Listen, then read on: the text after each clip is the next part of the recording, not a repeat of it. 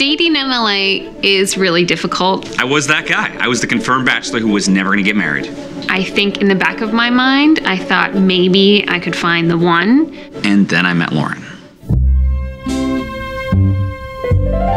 Neil actually contacted me on Match. Um, he was out of my age range. Then he seemed really nice and down to earth, and I thought, why not? Our first date was on a Thursday. To be honest, my first thought was he's shorter than he says in his profile. When I first met Lauren, I knew she was very different from anybody else in LA. But I noticed right away she had the best posture of anybody I'd ever met. And it's because she was a lady. Lauren is a lady. He was very put together. We talked about where we grew up and what we did for work, just very warm and inviting right off the bat. I told my friends, I said, if I could be a normal person and get married, this is the girl I would marry.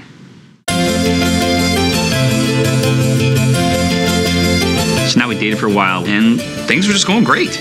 I was stuck. I, I was head over heels. Lauren's one of those girls who is super sweet and nice to everyone. I mean, she would send me flowers if I had a good day. No girl has ever sent me flowers, ever.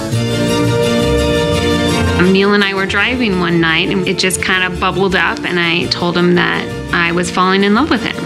Immediately, he said, Well, I love you. And nothing bad could happen at that moment. You're moving forward together.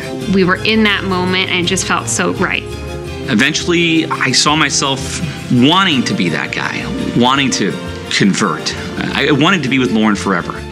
If that meant marriage or whatever you want to call it, I was all in.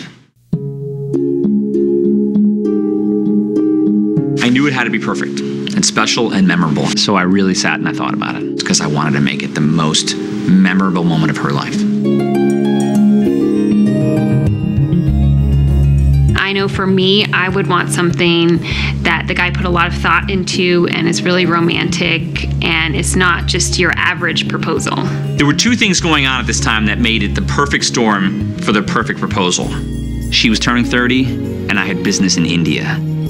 Thought I'll bring her to India and propose the Taj Mahal.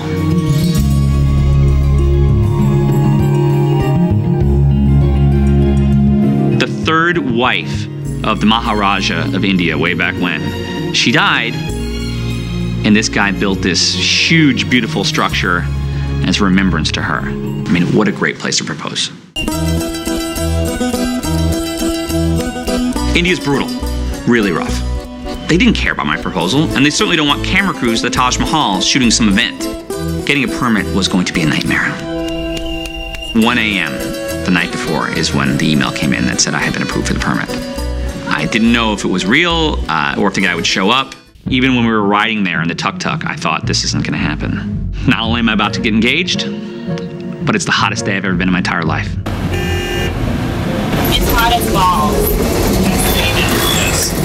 Very, very warm. It's very classy, Lauren. We looked it up and we were in the hottest place on the entire earth at that moment in time. 125 degrees.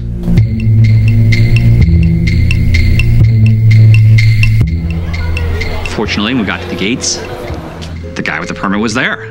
So they said I could have a permit, but the camera had to be on a tripod in a very specific spot. How am I going to record the sound? Neil uh, was talking with the camera crew, and then he came over to me and told me that I had to put a mic on. Stranger things have happened. I was sure, and I mean sure, she was on to me. I created a fake app for Wikipedia on the phone. It looked just like the internet. It even spun very slowly. So Neil handed me the phone. Bring me the Wikipedia. I can't. His vision is bad, so me reading off his really tiny phone is not strange to me at all. Taj Mahal, Crown of Palaces, is a white marble mausoleum located in Agra. It was built by this guy in memory of his third wife. So I started reading and I was just picking out different facts that seemed interesting to me. I wasn't going to read it word for word, and some things I couldn't even pronounce, so I would skip over those. He was grief stricken when his third wife died during the birth of their. Somebody forgot to write in the rest of that sentence on Wikipedia. Let's just say she wasn't reading the article the way I pictured it in my head. I was starting to sweat a little bit. She was almost at the point where I was supposed to pull out the ring, and suddenly a crowd of people swarmed us.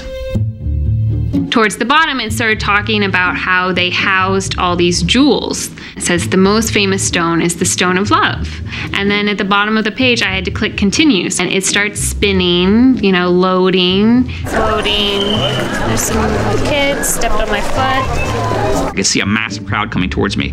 And I was thinking to myself, I have to slow down her read. I want to have a clean, open space when I drop down to my knee. I want it to be perfect. Honestly, run over. What?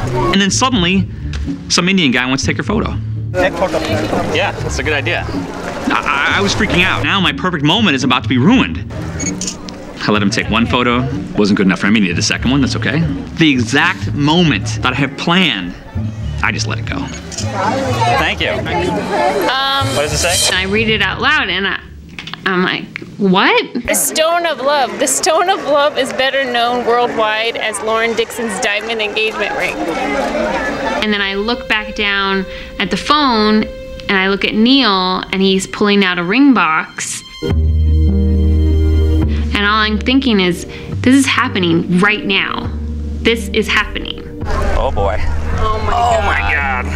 I could just feel my heart beating and the blood pumping all the way to my toes and pumping all the way back up.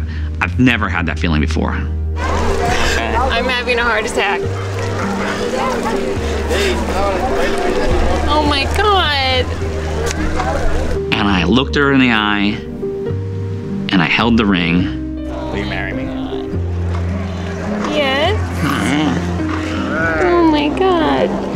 This is the moment that everything changes. And that is such an overwhelming feeling. I might faint. Somebody chose you and you can reciprocate and you can say, I love you this much to spend my entire life with you. He did everything to make me feel special, to make me feel loved. Time slowed down. It was just the two of us, and it was just in that one moment.